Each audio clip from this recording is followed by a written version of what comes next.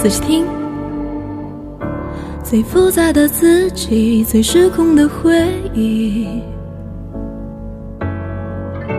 最矫情的情绪，最害怕告诉你。要怎么去证明？要怎么去冷静？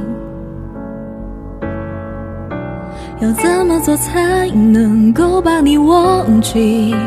深爱过的你，有些事情是无法继续。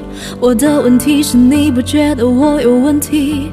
能不能不能再听一听你的声音？算我没出息。